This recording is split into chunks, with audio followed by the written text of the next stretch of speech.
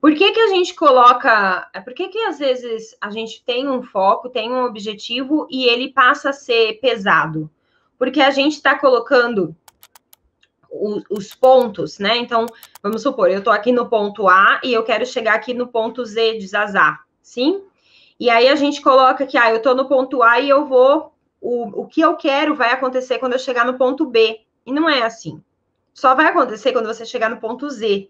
E para você chegar no ponto Z, você vai ter que passar do A para o B, do B para o C, do C para o D. Sim? Quando eu entendo que existe um processo para eu chegar no que eu quero, por mais que isso leve tempo, eu não desanimo. Eu entendo que é um processo. Quando eu avalio o quanto eu andei e não o quanto falta, isso me incentiva. O que, que eu quero dizer com isso? Alguém já correu aqui? Tenta correr um dia, sabe? Pegar uma. Dá um, dá um tiro. Sim, só dá uma corridinha. Daqui até o portão, sabe assim? E aí, na hora que você, você fala assim, ó, tem que ir o mais rápido possível.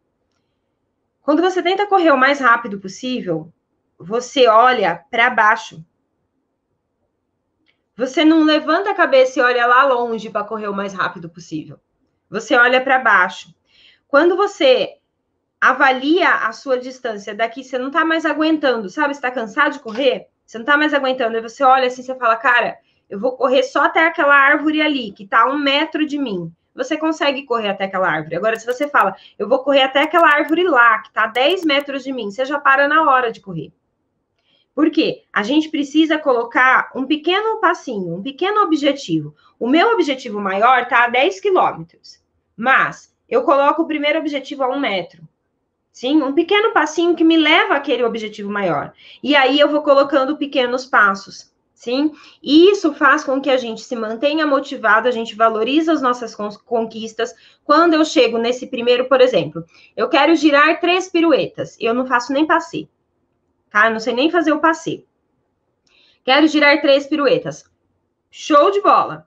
E aí eu vou lá, faço o plié, tento girar, não consigo e falo, ai, que nhaca, que isso, que aquilo. O que, que eu estou fazendo? Eu estou olhando do ponto A para o ponto Z. Mas não. Ah, tá, eu quero chegar lá no ponto Z, girar três piruetas. Primeira coisa que eu vou fazer o que é? Cadê o planejamento? Eu vou treinar para C. Depois de treinar para C, o que, que eu vou fazer? Ah, eu vou treinar um quarto de giro.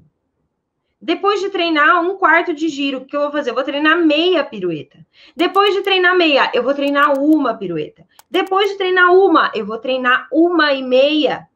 Depois eu vou para duas, duas e meia. Depois eu vou chegar em três. Existe um processo.